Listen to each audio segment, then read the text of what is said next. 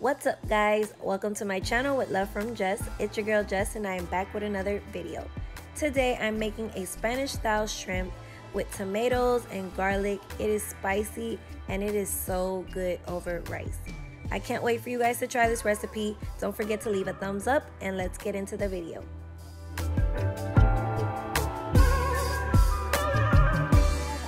these are ingredients you're gonna need. You're gonna start over here. You're gonna need some sofrito. And basically, sofrito is cilantro, garlic, red, yellow, and orange bell peppers, red and white onions, and vegetable oil. Olive oil to, you know, cook our garlic and stuff.